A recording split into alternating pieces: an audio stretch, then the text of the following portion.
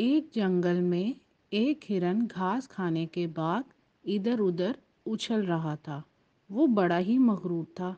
कभी वो भागता हुआ दाएँ जाता और कभी बाएँ जाता।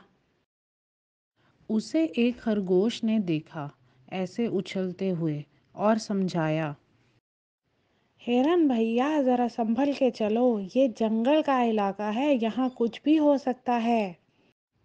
अरे हिरन भैया, अपनी तो चाल निराली है। इस जंगल का चप्पा चप्पा जानता हूँ मैं। अरे तुम समझे कि नहीं समझे? मुझे लगता है तुम कुछ ज़्यादा ही समझदार हो। तुम्हें समझाना अब मेरी कम अकली होगी। अच्छा मैं चलता हूँ हिरन भैया। इतना कह के वहाँ से खरगोश खिसक गया और हिरन महाराज की उछल खुद दोबारा से शुरू हो गई। हिरन एक बार फिर से दोबारा दौड़ना शुरू हो गया और दौड़ते दौड़ते आगे पत्तियों के एक ढेर में एक गड़ा था, उसे वो नज़र नहीं आया और उसका पाँव स्लिप हुआ और वो उस गड़े में जाके गिर गया। गड़ा काफ़ी बड़ा था तो हिरन डर गया और वो बाहर आने के लिए कोशिश करने लगा और छलांग लगाने लगा, लेकिन वो बाहर आने में नाकाम हो गया। इसके बाद हिरन ने मदद के लिए पुकारना शुरू कर दिया।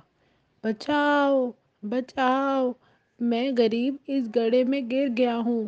प्लीज़ कोई है जो मेरी मदद करे और मुझे इस गड्ढे से निकाले। उस गड्ढे से कुछ दूरी पर एक बंदर था जो उसी तरफ़ आ रहा था।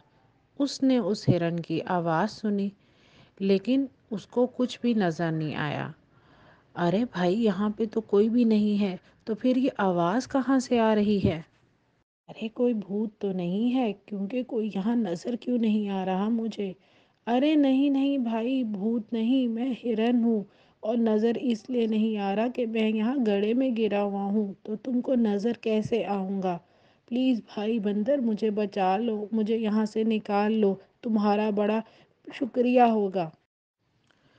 कुछ ही दूर फासले पर बंदर को पत्तों के करीब एक घड़ा दिखाई दिया। वो चलकर उस घड़े के करीब आया। ओ हिरन भाई, तुम इसमें कैसे गिर गए? अब कैसे बताऊँ तुम्हें बंदर भैया? अब तो मैं इसमें गिर चुका हूँ। खरगोश ने मुझे समझाया भी था, बट अपनी कम अकली की वजह से मैं समझ नहीं पाया। अब तो मैं इसमें गिर गया हूँ। प्लीज़ मेरी मदद करो, मुझे यहाँ से निकालो। हिरन भैया, मैं तो तुम्हारी मदद नहीं कर सकता। मैं तो तुम्हें अगर निकालूँगा तो खुद इसमें गिर जाऊँगा। तुम्हें तो खुद अपनी मदद करनी पड़ेगी, हिम्मत दिखानी पड़ेगी और छलांग लगाकर बाहर खुद ही निकलना पड़ेगा। बहुत सारे जानवर वहाँ पर इकट्ठे हो गए। हर कोई अपनी अपनी तरकीब बताने लगा हिरन को निकालने के लिए। फिर खरगोश को एक तरकीब सूझी और उसने कहा हिरन भैया, हम तो तुमको नहीं निकाल पाएँगे और हम थोड़ी देर के बाद चले जाएँगे। अभी यहाँ पर एक बहुत ही खूनख्वार और खौफनाक किस्म का बब्बर शेर आएगा और अगर उसने तुमको यहाँ पे देख लिया तो वो तुमको खा जाएगा। अब तो तुमको खुद ही हिम्मत करनी पड़ेगी और इस कुएँ से बाहर निकलना पड़ेगा। खरगोश की बातें सुनकर हिरन बहुत ज़्यादा खौफजदा हो गया और डर और खौफ के मारे पता नहीं कहाँ से उसके अंदर इतनी हिम्मत आई और उसने अपना सांस रोककर एक लंबी छलांग लगाई और गड्ढे से बाहर आ गया। बाहर आकर हिरन मगरूर हो गया और अकड़ कर सबके सामने कहने लगा, ये तो मेरा तरीका पुराना है। मैं अक्सर ऐसे ही करता हूँ और लंबी छलांग लगाकर कुएँ से बाहर आ जाता हूँ। वो सबके सामने अपनी भड़ाई बयान कर रहा था और इतरा रहा था अपनी छलांग के ऊपर। इतनी ही देर में लूमड़ी ने हिरन से पूछा अरे हिरन भैया, तुम तो बड़े अक्लमंद हो और तुम्हारी नज़र भी बहुत तेज़ है। फिर तुम्हें इतना बड़ा गड़ा नज़र कैसे नहीं आया और तुम कैसे इसके अंदर गिर गए? लूमड़ी के सवाल पर हिरन खुश हो गया और इतरा के कहने लगा कि, अरे भैया, मुझे तुम्हारा सवाल बहुत पसंद आया है और अब क्योंकि मैं मुसीबत से निकल गया हूँ तो मैं तुम्हें इसका जवाब देता हूँ कि कैसे मैं गड़े के अंदर गिर गया था। ऐसा करो, तुम सब लोग एक लाइन में खड़े हो जाओ और मैं तुम्हें बताता हूँ कि मैं कैसे गड़े के अंदर गिर गया था। हिरन थोड़ा दौड़ते हुए पीछे आया और इसी तरह उस घड़े के अंदर छलांग लगा दी। और कहा, देखो, ऐसे ही मैं इस घड़े के अंदर गिर गया था। उसकी ये हरकत देख के बाकी सब जानवर बहुत हैरान हुए।